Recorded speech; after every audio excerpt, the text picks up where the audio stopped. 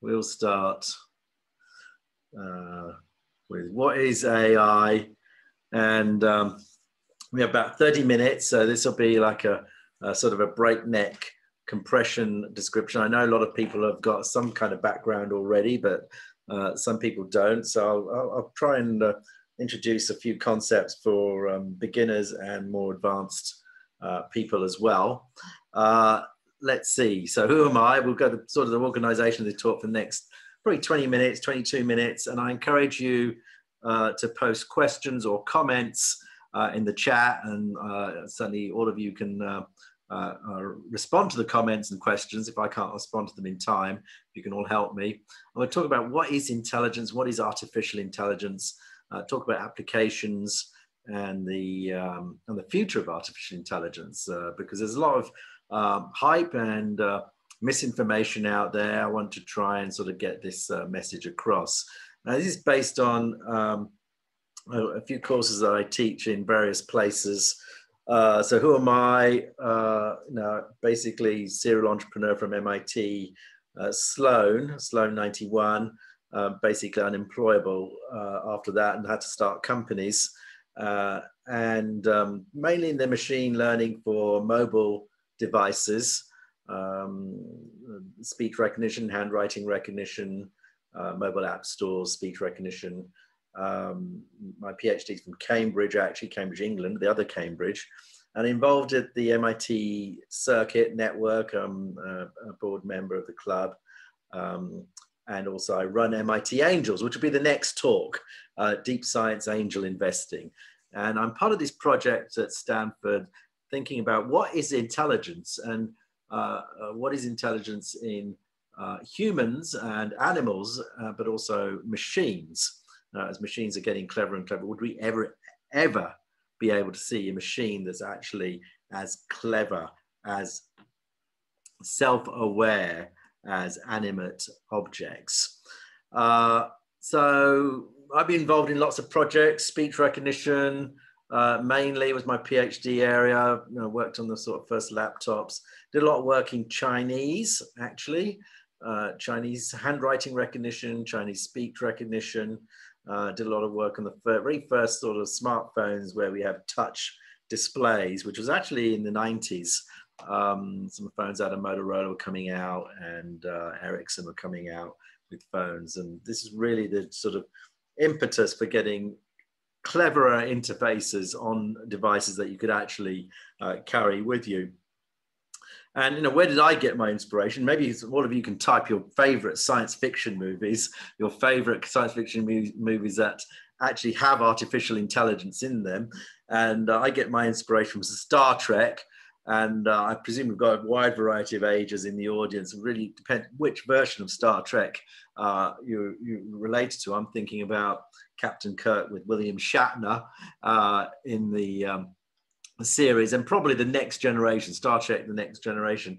And what's interesting in Star Trek is many of the devices, many of the innovations have, have actually happened. Uh, we've got the communicators, we've got the iPads, even the uh, the tricorder that tells you um, uh, uh, what's wrong with you just by waving it across you.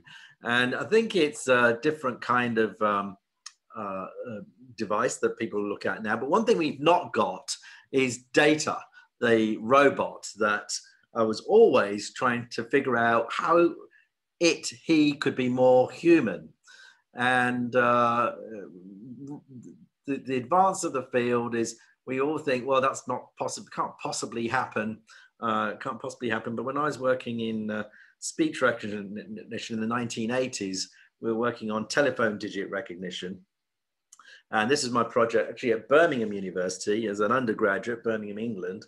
And we're just doing telephone digit recognition. And my job was to try and figure out how to recognize digits that were aligning with each other. So in those days, you'd have to have a space in between each word. And you could still only do 10, 20 words, even at that. And we said, well, how do we figure out how to let words elide with each other? Uh, so-called continuous speech recognition or connected speech recognition, where you don't know where one word begins and one word ends. And so one of the dynamics here is, you know, the kind of processing power that we have is significantly greater today. And this is like one megahertz, not one gigahertz. Um, this is uh, eight kilobytes, not megabytes or gigabytes of memory. And that's one of the things that's uh, created uh, huge um, advances in intelligent devices. Uh, worked on the first laptops. Again, same problem. We could only have couldn't do the continuous words where the words are lining together. Uh, a few thousand words, but could only do 60 words. This, again, this was a British company called Apricot, not Apple, but Apricot. Um, and it was really the first one where you could just do speech recognition in a uh, portable computer. Uh, and then uh, after MIT, I uh, was uh, uh, my final project. Um, we'll talk about this a bit more. Bank check handwriting recognition at Sloan, uh, and I entered this project, handwriting recognition, in what was then the 10K competition, and I didn't even get shortlisted. Uh, so it was um, a bit disappointing, but I had to. I kept going, and again, we did cursive handwriting, same kind of problem to the speech problem. Where you have, you know, where does one letter begin and when where does one letter end? It was kind of a difficult problem. There were a lot of print recognizers where you had a space around every character, so it was a much easier problem. But this was a thing that we uh, sort of my first company um, that I started out of Sloan. Uh, uh, went to Stanford for a little bit and then started this uh, company doing uh, using neural networks to recognize characters, and um, that got bought by Motorola. And that got me on the cover of this magazine, Fortune magazine. And the title here is Computers That Mimic the Brain. And this is like 1993. And we're still talking about it 30 years later. Um, you know, can we still get computers to mimic the brain? Can we actually have intelligence in a machine? Uh, started working in another speech recognition company that got bought by Apple. Uh, and now I run a little institute and a venture capital firm uh, that invest in deep science. Probably the next session we'll talk a bit more about that. Uh, so what is intelligence? Let's go to, before we get to artificial intelligence, uh, to think about what intelligence actually is. And if you ask the, uh, the, the, the wider community, and this question was asked by the Wall Street Journal by academics in all different kinds of disciplines, and about half of them replied. And they, they talked about not pattern recognition, but they think thinking about like um, uh, uh, uh, uh, sort of catching on or making sense of things or figuring out things and uh, you know, creative components uh, rather than you know narrow a narrow academic skill or test taking. Um, so, so it, be able to sort of solve problems and think abstractly and that's if we all ask each other, we ask our friends, you know, what is, you know, what does intelligence mean? Uh, these are kinds of things we might get. So what is artificial intelligence? Most, well, the most artificial intelligence systems are not that. You know, they're very vertical problems uh, that solve only one thing. Uh, uh, they typically are not doing too much understanding uh, notwithstanding some of the things we have in our phones like Alexa and Siri, we'll talk about in a second. But usually they're very, very vertical problems and they can't be transferred to solve other problems. And so there's many definitions of what artificial intelligence is. The word has been around uh, for about, um, about uh, uh, 60, 70 years. And the, the original definitions coined at a conference in Dartmouth uh, in the 1950s. Uh, and um, it means different things to different people. And so the real technical original definition is really human-like performance, human intelligence, perform any task that a human can.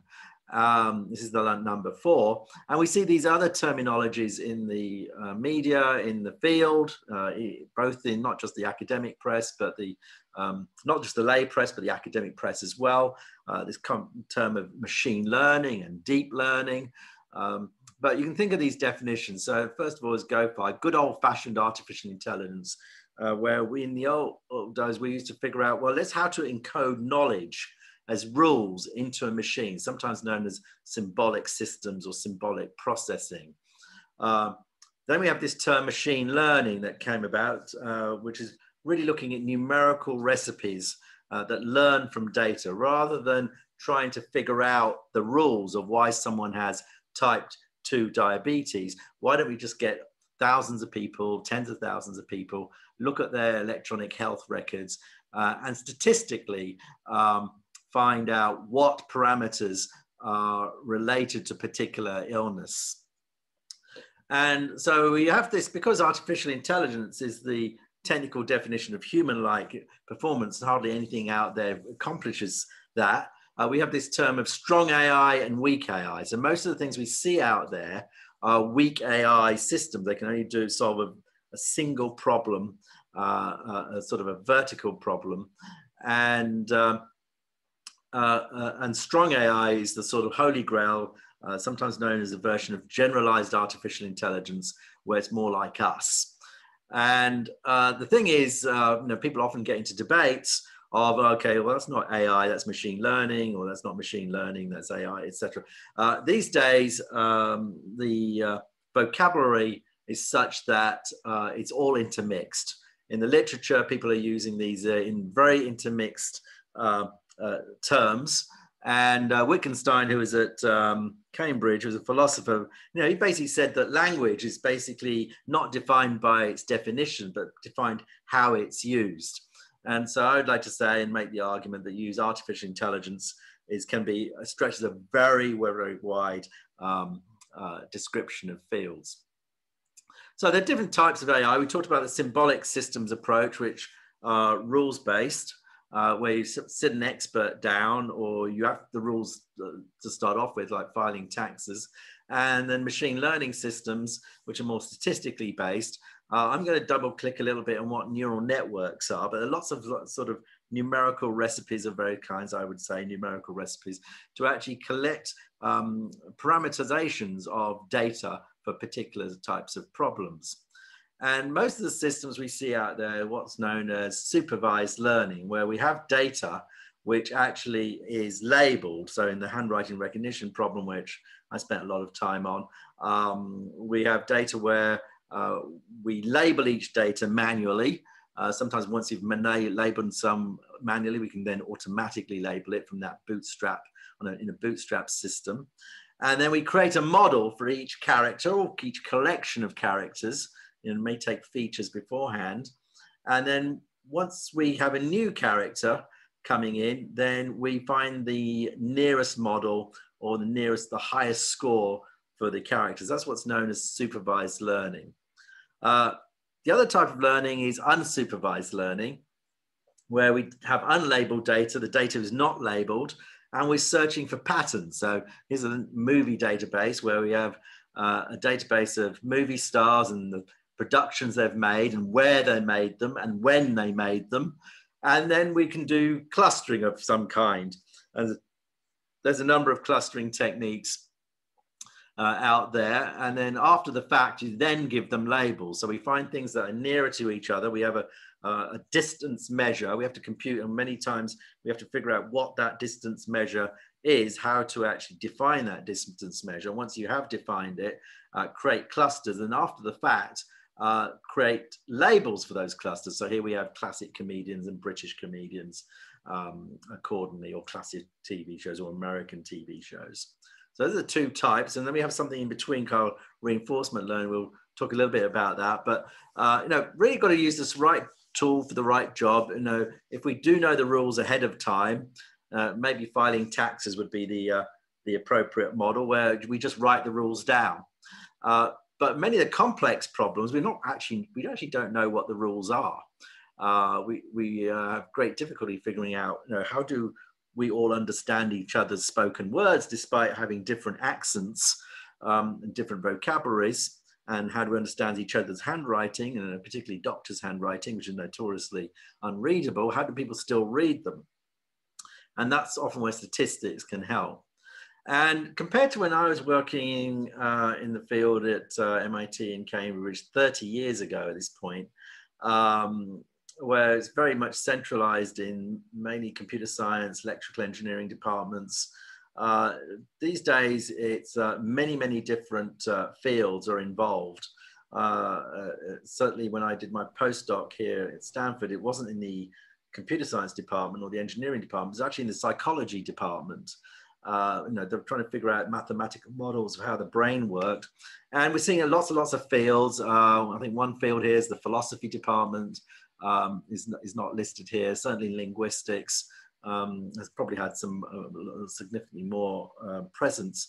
But we're seeing pretty much every field, law, looking at ethics, uh, because people now want to know uh, how does this AI work and what is AI?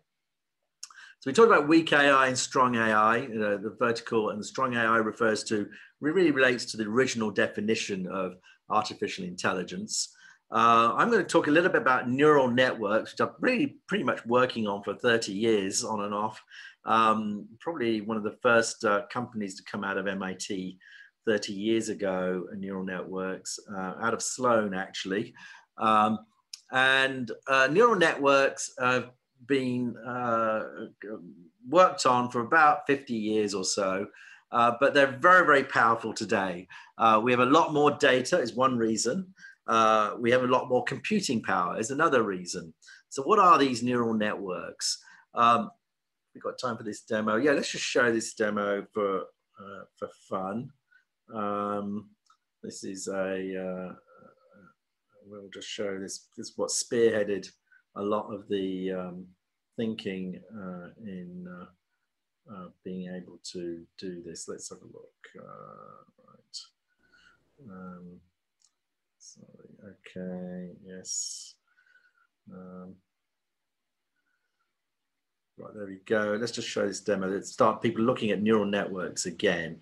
And this is a game called um, uh, Breakout is an old computing game, uh, and what it's got is all it's being shown is um, pixels of the game and the score of the game, and all it's been told it can only move uh, left or right or fire, and it starts out training and uh, uh, doesn't do too bad a job. And remember, what I'm saying, all it's got is information of the pixels of the of, of, of the picture and the score and all it's allowed to do knows it can just move left or right uh, or fire. Firing actually is only at the beginning.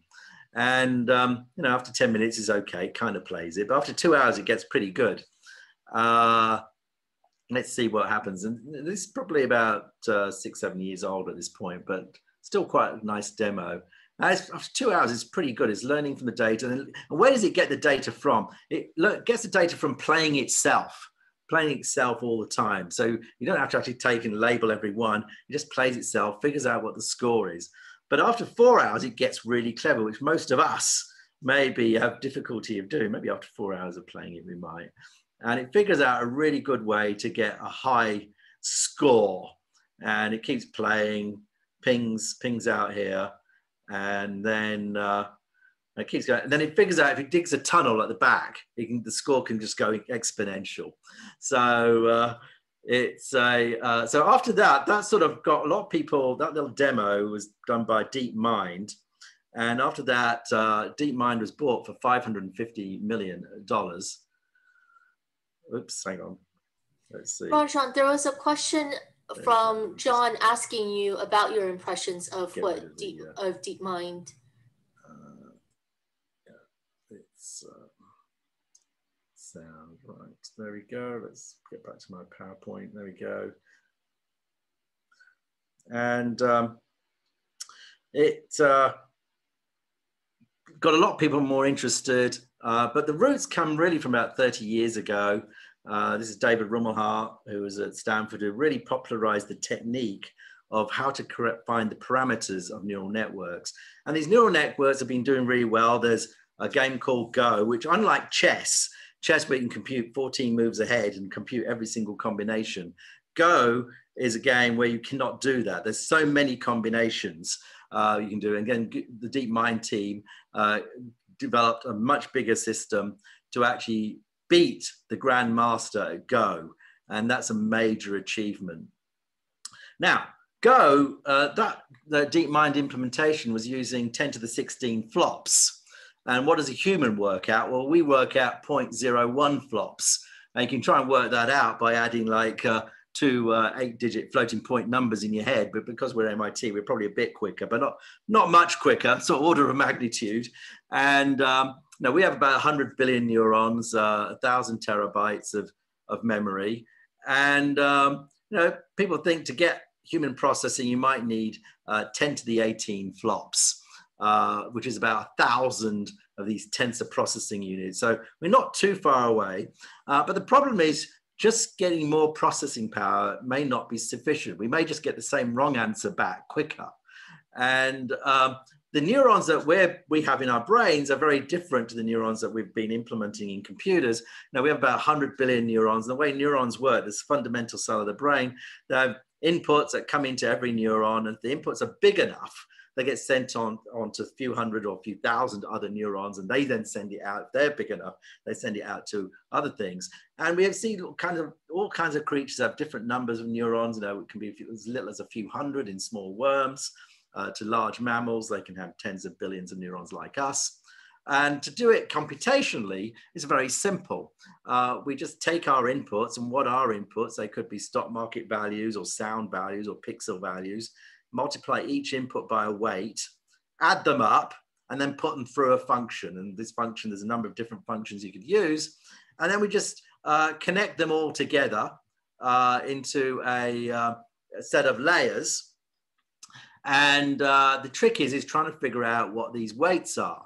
And uh, this, uh, the basic algorithm is known as the back propagation algorithm. Once we've got uh, a set of data where we know what the answers are, we can jiggle the weights essentially by working out backwards what the weights should be. And then once we've got them, uh, we can use uh, the system to recognize new uh, patterns. And so you've got to basically, for a neural network, you've got to figure out what these patterns are. Now, what's the architecture? What are the weights? And what's that function, the activation function at the end? Uh, so I'm going to talk about a little bit about uh, sort of applications that I've been working in and open to questions. Um, uh, the new sets of networks, you can actually be a bit more creative. I had a student using what's called generative adversarial networks, which had two sets of networks one was where you're putting noise in, and the other one is a training set of your um, uh, parameters which go into this uh, in, into your second one. And the second one, what it's trying to figure out is what the thing that's produced by the noise one is it a candidate of the training set? And of course, at the beginning, it just presents rubbish. It's no good. But it, the discriminator test says, okay, well, that's it's not a character. Go back and try again. It keeps wiggling the weights again and keeps getting getting better and better and better. And eventually said, well, actually, I can't tell the difference. This could be an A. It could be part of the training set. So we use this kind of system to actually, you know, some of these things that you've seen in uh, in, in uh, fake pictures and things to, to actually create, be creative and create paintings. And so this was trained from a 14,000 landscape paintings. And um, was a young student of mine, and uh, he uh, actually managed to get his paintings on the uh, cover of Business Week. He actually got some pay, paid for it. And uh, then this French company sort of, he just open sourced his code. And this French company took the uh, code and created uh, another painting. And that painting was sold for $380,000 at Christie's. And as usual, my poor student, as is normal, the poor artist doesn't actually usually benefit from that and um, uh, it, it, there's this discussion well who creates the painting is it the code is it is it the, the underlying artists, the 40,000 uh, 14,000 uh, artists or is it uh, uh, the person who implemented it together? So we have to start start seeing these things coming about. So you know these are more paintings that came about. What work I was doing at MIT with uh, Professor Gupta at uh, Sloan was in 1991 was to figure out how to recognize the handwritten characters on bank checks. And we had the same kind of problem. The, the letters are touching each other. How do we figure that out? And we figured out that basically by not just using the numbers in the box on the right hand side, but also recognizing the words that you write as well to increase the uh, performance. Uh, stock market prediction, uh, also uh, did some work at MIT on that, worked with Professor Lo. Uh, that was my master's thesis. And again, we started working again uh, with this little company, Algodamics, doing unsupervised learning, clustering, uh, trying to actually get, uh, figure out when there's buyers uh, sort of tip over uh, into um, behavioral dynamics that where they're all want to buy, and that's the time you want to sell. uh, and uh, we get pretty good results. You know, how do you sort of avoid market crashes? Uh, and uh, by having so much extra data, we can actually do more, uh, implement more problems. So what's the future of AI? You know, can machines actually have a mind? Uh, is that actually possible? You know, can we actually have consciousness? Um, consciousness is being debated uh, for a hundred years. There's about a hundred definitions of what what it is. Um, there've been some work in France uh, by Dehaene who says, well, okay, you've got three types of sort of uh, consciousness. Can you actually create a computational model? Uh, Francis Crick said, well, no, basically, he wrote this book in the 1970s and said, well, basically, we're just a bag of chemicals. And um, that, uh, you know, we're no more, our free will is, uh, in fact, no more than the behavior of ourselves as working with each other, uh, uh working with each other, rather than something that's actually um, a, a, a, fundamental precept. So I'm going to stop there uh, right now. I think there is a site you can go to and uh, you can actually decide whether you can actually get a machine that's uh, self-aware in the uh, um, uh, in, in, accordingly. So uh, let's see. Anybody got any comments or questions? Ranjan. Ranjan. Right. It's a uh, yeah. So there's a few comments and questions about the. Uh, let's see. We got uh, let's see, where, are impressions of deep mind? What's, uh, do you feel pretty neat about the progress of the field over the, okay, uh, let's talk about this. How much progress has been made over the field over the last few decades? I mean, there is a, an argument that in science, once something works, uh, just as in industry, everyone starts working on it. And um, there is an argument that our fundamental techniques that we're using today, these deep learning networks, which are many, many layers, are uh, that really, you know, the, the principles were set in motion like 30, 40 years ago. And we've now just, we've just got more computing power, more data. And there are a few tweaks that would, let's not discount that. There are some, uh, some, pro, some, some progress, but is this the right way? Uh, I typically don't need to look at a million faces uh, to learn something. I can just look at something once or twice. And uh, there is an argument that uh, maybe there's too much work uh, going here. Uh, there is a, you know, there's, there's, certainly people at MIT looking, going back to Bayesian statistics, uh, saying, well, maybe we can, there's other things uh, that, that we can actually um, look at because you know, maybe we need a, um, a biological substrate because the only existence proof of human-like intelligence is us and we don't use silicon and we don't do any of these other, other things. Uh, which jobs will be uh, replaced by AI? Uh, it's kind of interesting that we are seeing things that are very, I guess what I call vertical, uh, that are mechanical, that are process oriented, that are at the greatest risk. Um, uh, I think actually nobody is safe uh, because uh, you know, it used to be that um, you know, it, you know, it used to be people, the more intelligent people, the more intelligent jobs, so to speak, would think their jobs are safe. Uh, but that's not the case. You know, we're seeing radiology exams being done better by machines than by doctors. Um, uh, certainly, I think the ones that need more empathy, emotion, uh, uh, maybe physical dexterity uh, might be more, uh, might be safer. It's quite a common question, you know, which, uh, uh, you know, which, which job is safer, the doctor or the nurse? Probably the nurse, actually. the person who needs continuing, continuing um, empathy with the, um, with the patient. so let's see, we've got two more minutes on this section. Um, let's see, if anyone wants to ask a question verbally, pipe up. Otherwise, I'll pick one out from the chat.